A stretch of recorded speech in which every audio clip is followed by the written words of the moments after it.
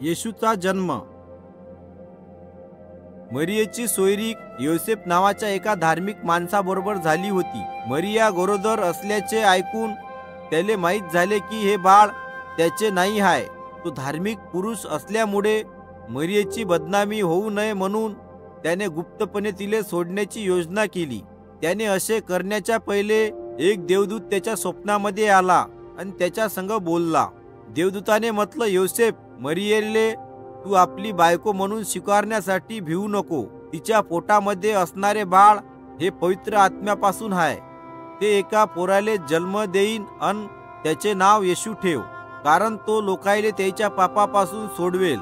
तेव्हा योसेफनं मरिया संग लग्न केलं आणि आपली बायको म्हणून तिचा स्वीकार केला. पण त्या बाळाचा जन्म होईपर्यंत तो तिच्यापाशी झोपला नाही. जेव्हा बाळाचा जन्म होण्याचा वेळ जवळ आला तेव्हा रोमी सरकारने सगळ्या इस्रायली लोकायले जनगणना करण्यासाठी आपापल्या गावी जाण्यासाठी सांगितली. योसेफ अन मरियाले नासरेतहून बेतलेम असा लांबचा प्रवास करावा लागला कारण त्याचा पूर्वज दावीद राजा हा बेतलेम गावचा होता. बेतलेम गावात पोचल्यावर मरिया अन योसेफले राहायले जागा मिळाली नाही फक्त गाई ढोराईच्या गोट्यामध्ये जागा होती. ते त्याईले मिळाली. बाळाचा जन्म त्या गोट्यामध्ये झाला आणि त्याच्या आईने त्याले गव्हाणीमध्ये ठेवलं. त्याईनं त्याचे नाव येशू ठेवले. त्या रात्री काही मेंढपाळ आपल्या मेंढराची जंगलामध्ये राखण करत होते.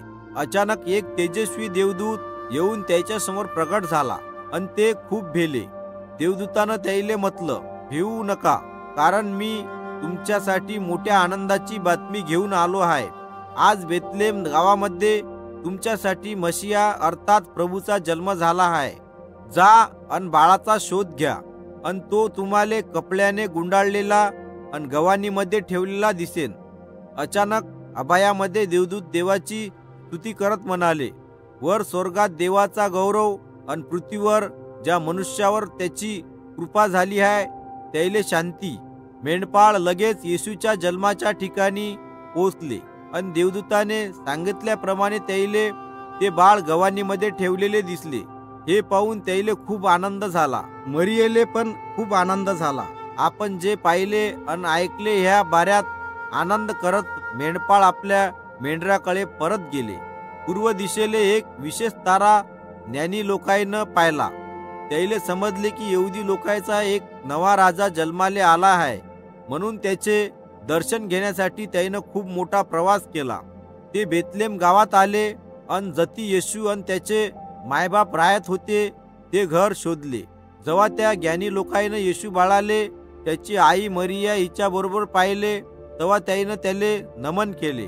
आणि त्याची उपासना केली त्याईनं येशू बाळाले मौल्यवान भेटवस्तू दिल्या. मग ते आपल्या घरी परत गेले.